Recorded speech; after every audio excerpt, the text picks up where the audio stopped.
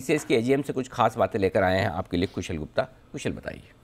बिल्कुल सर, तीन बड़ी बातें हैं जिस पर हमें फोकस रखना चाहिए टीसीएस की एजीएम में, जो कि चेयरमैन एन चंद्रशेखर साहब ने कही है। सबसे पहला तो डिजिटल इंडिया एक्ट को लेकर उन्होंने फिर से एम्फोसाइज किया है। वो ये कह रहे हैं कि यहाँ पर जो आईटी एक्ट सन 2000 में लाया गया था, वो अब 20 साल पुराना हो चुका है और पिछले 20 सालों में काफ़ी बड़े बदलाव आपको आईटी में आते हुए नज़र आए हैं।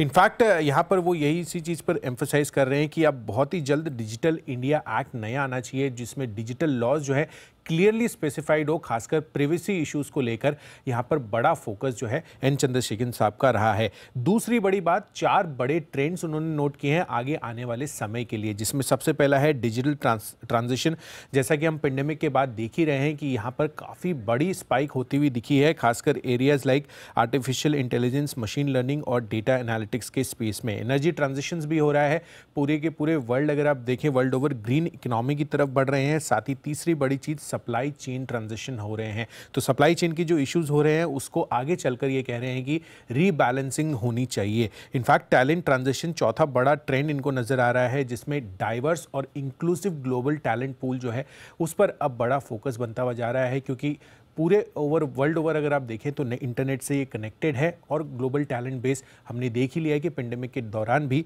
वर्क फ्रॉम होम प्रोडक्टिविटी भी बढ़ती हुई दिख रही है। और तीसरी बड़ी चीज़ वो था ग्लोबल ग्रोथ को लेकर, जहाँ पर उन्होंने हाईलाइट किया है कि रूस और यूक्रेन के बीच में जो इश्यूज़ हुए हैं, उस वजह से कमोडिटी इन्फ्लेशन तो हुई ही है, साथ ही कच्चे तेल में और गैस प्राइसेस में जिस तरह की तेज़ी देखने को मिली है, उस वजह से हाई इन्फ्लेशनरी एनवायरमेंट और लो ग्रोथ सिनेरियो होता हुआ दिखेगा। पर इस बीच में भी उन्होंने ये कहा है कि जो मेजर मेजर इकोनॉमीज है इंडिया उसमें सबसे फास्टेस्ट ग्रोइंग इकोनॉमी हो सकती है 7.8 परसेंट के रेट के साथ।